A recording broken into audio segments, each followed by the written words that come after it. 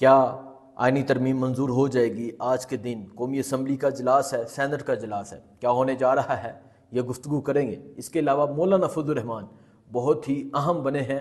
क्या मौलाना फजलरहमान आइनी तरमीम के लिए वोट दे देंगे या नहीं देंगे?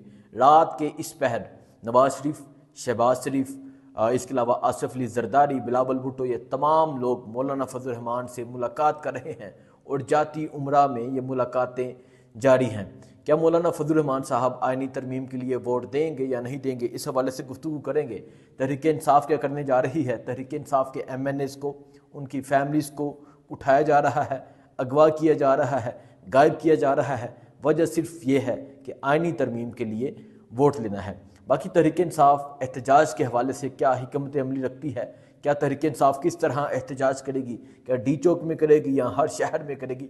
तमाम चीज़ें आपके सामने रखेंगे। सबसे पहले आपसे गुजारिश है कि आपने वीडियो को लाइक करना है और कमेंट ज़रूर करना है, अपनी राय का इजहार ज़रूर करना है। करते हैं आज का विलाग शुरू। आइनी तरमीम। ये जितनी सख्ती, जितनी पाबंदी, इमरान खान से मुलाकात की पाबंदी हो जाए तरीके इंसाफ के लोगों को जेल में डालना हो, इमरान खान की बहनों को जेल में डाला गया, इसके अलावा जो कुछ हुआ ये सिर्फ़ और सिर्फ़ आइनी तरमीम करने के लिए हो रहा है। आइनी तरमीम होती है तो क्या होता है? ये भी गुफ्तु करेंगे। तरीके इंसाफ के अहम रहनमा असद कैसर ने इस हवाले से अहम चीज़ लिखी है। ये आपको बताएँगे। अब बताते हैं आइनी तरमीम के हवाले से।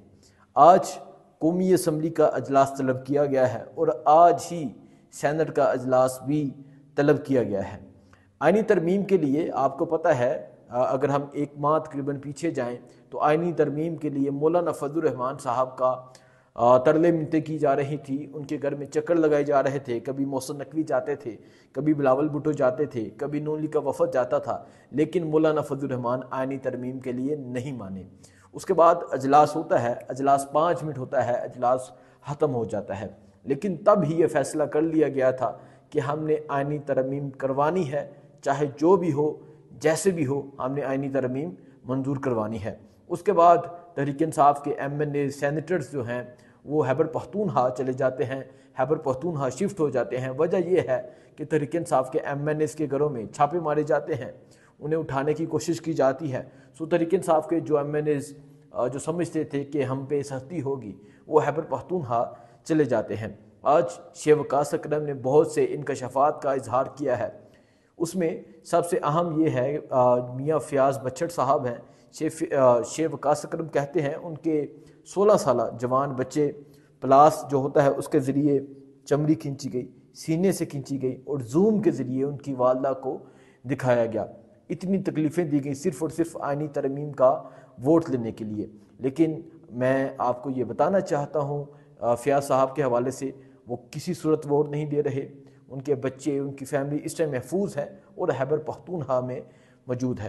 क्योंकि हैबर पख्तूनहा ही वाहद ऐसा सूबा रह गया है जो अपने लोगों को तहफ़ देता है। आपने देखा होगा, हैबर पख्तूनहा में किसी दूसरी पार्टी के लोगों के साथ इस तरह सख्ती नहीं नहीं की जाती जिस तरह पंजाब में तरीके इंसाफ के लोगों के साथ की जाती है।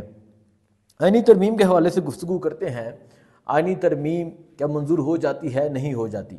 आज मेरी तहरीक इंसाफ के एक दो एम एन ए से बात हुई, मैंने पूछा हाँ जी, क्या समझते हैं, क्या आइनी तरमीम हो जाएगी या नहीं होगी? और ये बहुत ही अहम एम एन एज़ हैं, ये कहते हैं कि हमें कुछ समझ नहीं आ रही, हमें कुछ पता नहीं चल रहा कि हमारे कौन से एम एन एस बिक चुके हैं, कौन से एम एन एस महफूज हैं, कौन से एम एन एस वोट देंगे। अगर हम कुछ एम एन की बात करें, एक उस्मान हैं, इसके अलावा जहूर कुरेशी साहब हैं, इनका कोई रबता नहीं तरीके इंसाफ से। बाकी रियाज फतियाना की बात की जा रही थी आ, कुछ औरंगज़ेब खिच्ची की बात की जा रही थी औरंगज़ेब खिच्ची का भी तरीके इंसाफ से कोई रबता नहीं। लेकिन अंदरून जो रिसोर्स होते हैं हबड़ ये है कि आठ M N S Tehreek Insaf के तोड़ लिए गए हैं। क्या ये खबर सच साबित होती है या नहीं होती? ये जिस दिन आइनी तरमीम का बिल जो हो वो पेश किया जाएगा उसी दिन पता चल जाएगा। आज कौमी असम्बली का अजलास है सैनट का अजलास है आज क्या आइनी तरमीम मंजूर करने के लिए पेश की जाती है या नहीं की जाती है नेक्स्ट अजलास में की जाती है, ये देखा जाएगा।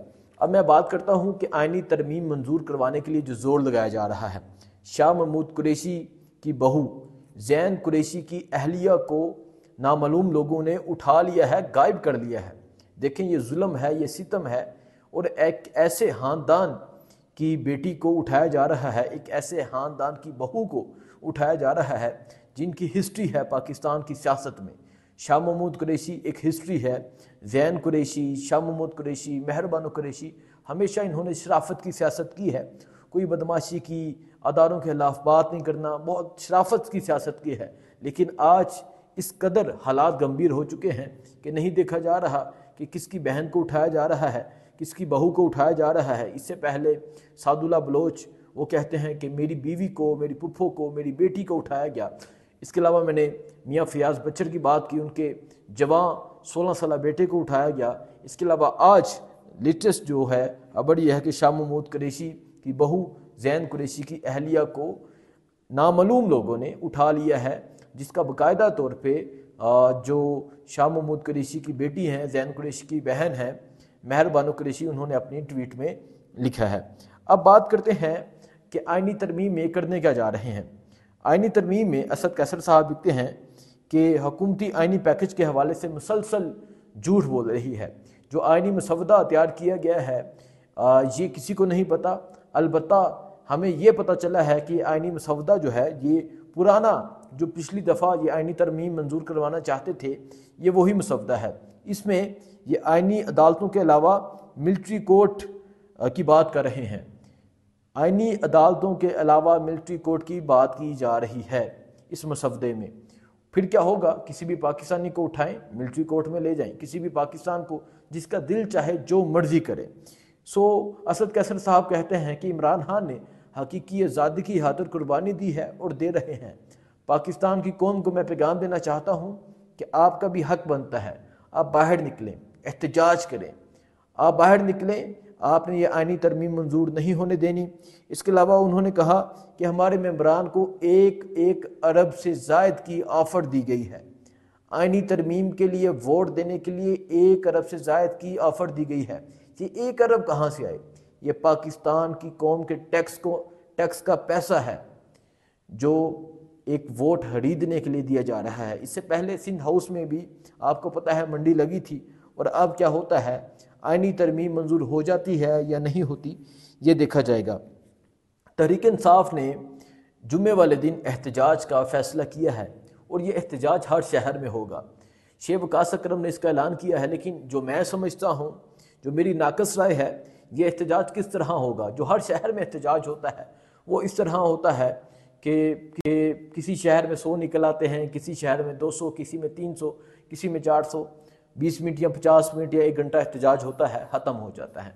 इस तरह के एहतजाज से कभी भी ना आइनी तरमीम रुकने वाली है, ना इमरान खान बाहर आने वाले हैं, ना ही ये जुल्म सितम ख़त्म होने वाला है। जो एहतजाज होता है, वो एहतजाज लाखों की तदाद में जब लोग निकलते हैं, तब ही उसका कुछ फ़ायदा होता है। अगर आप समझते हैं कि जुमे वाले दिन एहतजाज किया जाएगा और जुमे वाले दिन हर शहर में लोग निकलें थोड़ी थोड़ी तादाद में लोग निकलें तो इसका मैं समझता हूँ क्योंकि मुझे कवरेज करते गुज्त छः सालों से मैं तरीक इंसाफ को कवर कर रहा हूँ। मैं कवरेज करता हूँ, जो मैं समझता हूँ, इस एहतजाज से तहरीक इंसाफ को या इमरान खान को कोई फ़ायदा नहीं होगा, बल्कि लोग गिरफ़्तार होंगे, एक दफ़ा फिर सख्ती होगी। जब इकट्ठे होकर निकलते हैं तो तब एक ताकत होती है। सो देखते हैं जुमे वाले दिन किस तरह एहतजाज होता है, कैसा एहतजाज होता है, लेकिन तहरीक इंसाफ ने मुजामत का फ़ैसला किया है। जो मुफामत की बात की जा रही थी जो मुफामत की बात होती थी, तहरीक इंसाफ ने फैसला किया है कि अब मुफामत नहीं होगी। अब होगी तो सिर्फ़ और सिर्फ़ मुजामत होगी। इसके अलावा तहरीक इंसाफ ने यह कहा है कि इमरान खान को, इमरान खान की बहनों को, इंतज़ार पंजोता को और बाकी तमाम असीरान को जल्द से जल्द रहा किया जाए, इसके खिलाफ एहतजाज होगा। इसके अलावा आइनी तरमीम को किसी भी सूरत कबूल ना करने का फैसला किया गया है। इमरान खान को बुनियादी हकूक़ देने का ये कहा गया है कि इमरान खान को बुनियादी हकूक़ दिए जाएँ, वरना हमारी एहतजाजी तहरीक ज़ोर पकड़ दी जाएगी। और फिर हम नहीं देखेंगे कि हमने डी चौक पहुँचना है या कहाँ पहुँचना है। अब ये फैसला तहरीक इंसाफ के लोगों ने करना है, लेकिन जो तहरीक इंसाफ के वर्कर्स हैं, उनकी ये डिमांड है कि आप हर शहर में एहतजाज का फैसला ना करें, बल्कि आप सत्रह तारीख, यानी कल के दिन डी चौक का ऐलान करें। देखिएगा कौन निकलती है।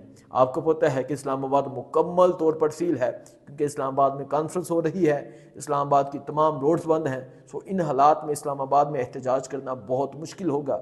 और अगर तहरीक इंसाफ ये फैसला करती है तो मैं ये समझता हूँ इंतज़ामिया बहुत ही सख्ती के साथ निपटेगी। बाकी आइनी तरमीम के हवाले से देखते हैं, आज असम्बली अजलास में क्या होता है, सैनट के अजलास में क्या होता है, क्या तहरीक इंसाफ अपनी गिनती पूरी रखती है, क्या आनी तरमीम मंजूर हो जाती है? नहीं होती। आपको अपडेट देते रहेंगे। आपने अपनी राय का इजहार ज़रूर करना है। आप क्या समझते हैं, क्या आनी तरमीम मंजूर हो जाएगी या नहीं होगी? दो में याद रखिएगा। अल्लाह हाफिज़।